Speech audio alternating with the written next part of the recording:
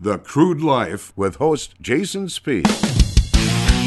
My name is Jason Spiess, and this is the Crude Life Daily Update. On today's program, we talk with Jack Hamlin, president of Summit Engineering and Energy Strong Colorado, a movement in Colorado to help educate oil and gas as well as the climate change fossil fuel debate. In just a moment, part of our exclusive interview with Jack Hamlin, part of the leadership team with Energy Strong Colorado, and president of Summit Engineering, right here on the Crude Life Daily Update. Yeah, Prop 112 came through. That was all the focus. We fought that.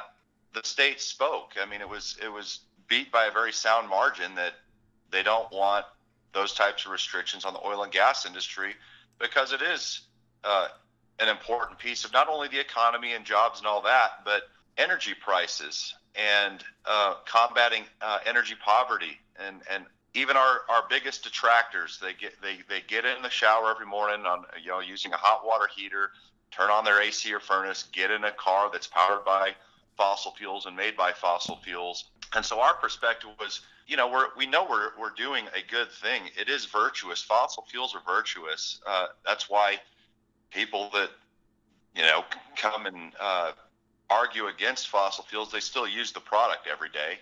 It's the realization there is how do we communicate and, and prepare better. So during Prop 112, we're looking at that.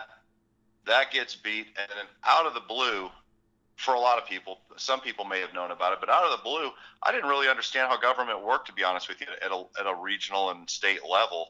Didn't realize that these types of laws could be passed without a vote or being put onto a ballot.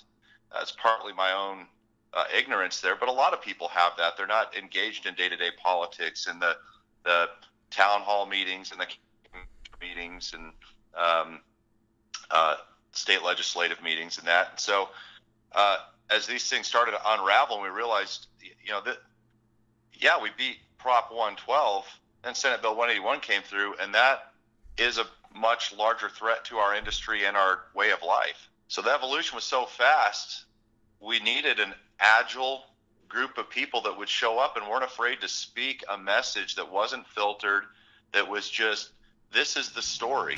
And that was Jack Hamlin with Energy Strong Colorado and Summit Engineering. To listen to the full length interview or to check out other exclusive interviews, visit thecrudelife.com. That's thecrudelife.com. We ask you to be part of our ever growing army of energy enthusiasts. 350,000 plus social media followers at thecrudelife.com Click on the social media tab. We have all the YouTubes, the Facebooks, the tweets, the Twitters, all that is right there. TheCrudeLife.com. Click on the social media tab. From the staff here at the Crude Life Daily Update, my name is Jason Spiess, asking you to savor life and enjoy the spice. Historic. The first full conversion refinery to be built in the U.S. in over 40 years. Innovative, the cleanest, most technologically advanced downstream project ever. The model for future shale basin projects. Groundbreaking. With construction resuming in early 2019. The Davis Refinery,